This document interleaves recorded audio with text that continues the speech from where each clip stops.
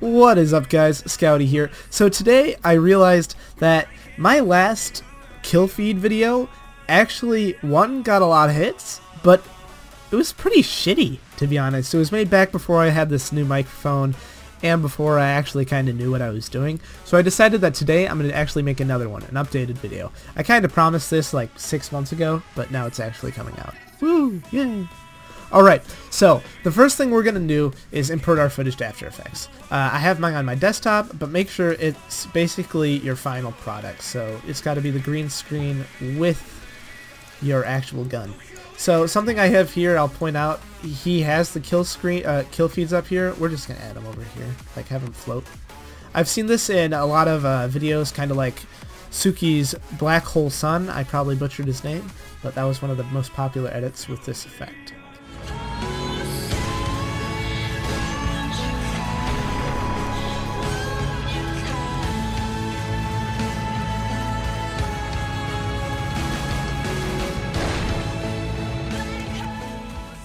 Alright, so the first thing you're going to do with uh, once your footage is in here is you're going to make sure that there aren't any scenes where a AWP is scoped in because if the AWP is scoped in then you're messed up.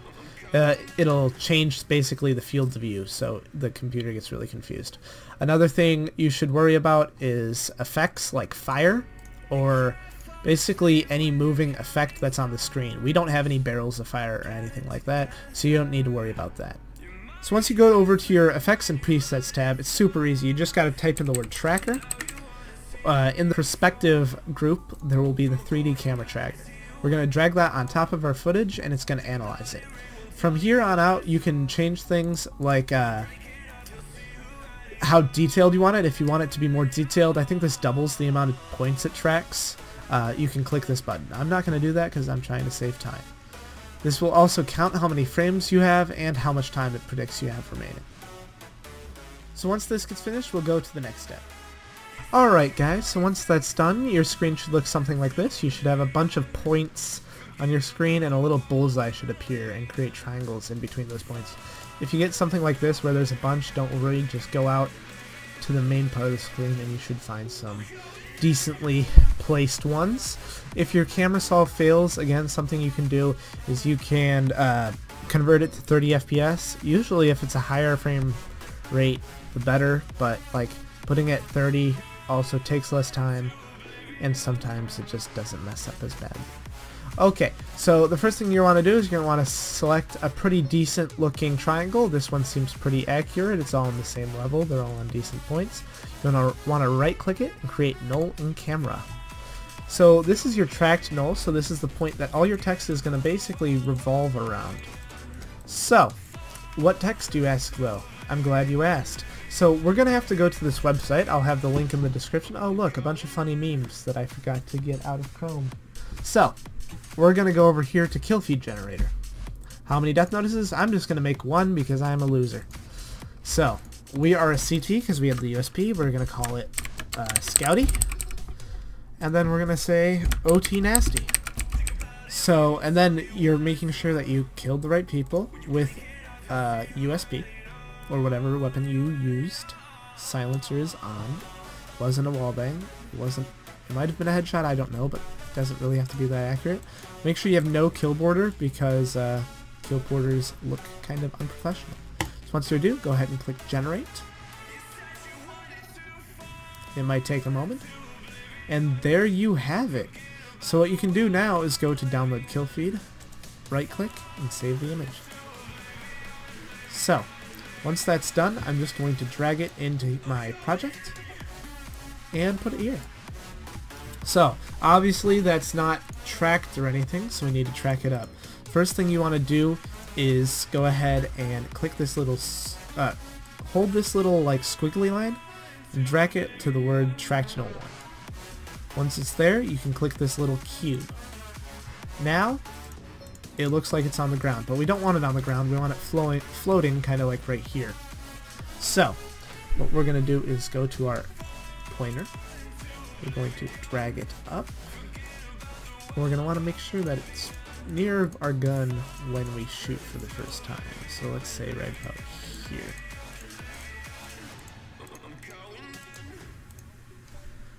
Make sure that it's pretty accurate. It was a headshot. I feel bad that I messed that up, but okay, he shoots right now. So, now we're gonna try and get this as accurately as possible. So, the word is right here, and we can make sure that that's in a decent position by moving around a little bit. Then we're gonna rotate it to face us, go to the x-axis to rotate it 90 degrees towards us, and then 90 degrees-ish. You can hold shift to get these like ticks. So that seems pretty accurate. Now I'm going to move it a little bit more so it looks like that, which I would say is pretty good. Now you could also have tracked the actual gun. That way it would stay with you like a kind of HUD. I didn't do that because I kind of want it to stay in the place so he walks past the kill feed. So, now that that's done though, because we know he shoots right here, ish, yeah, we're going to do Control Shift D to split the footage.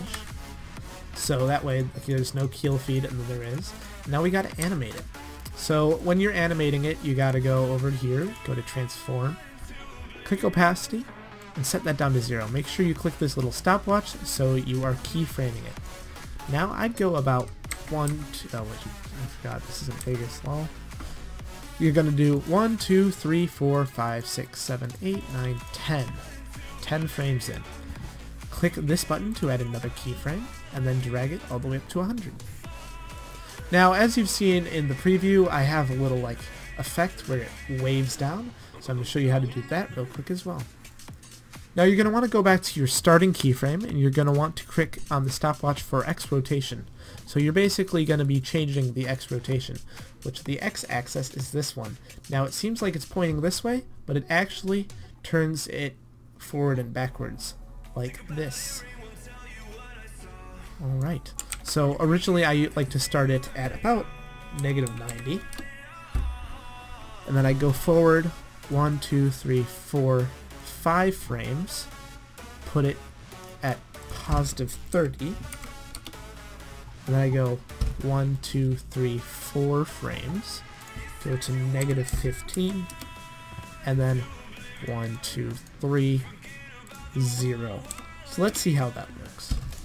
Let's now we can run that. So that's pretty realistic if you ask me. So, basically what you're going to do is you're going to copy that for every single kill feed. Now luckily you do not need to copy the tracked null any again, so all you'll have to do is just go to that website, link will be in the description, um, create your kill feed, and then download it. Insert it into your footage, and then place it. Now if you want it to do, for example, my character is just going to walk away from it, right? Once he's pretty, you're pretty sure that he's off of the footage, you can click it again, do Control Shift T to cut it out. That way you don't see it later for some reason. Alright, so that's how you make 3D kill feeds in After Effects. It's probably the easiest way I know. Make sure, if you like the video, to like it and subscribe. And as always, I'll see you in the next one.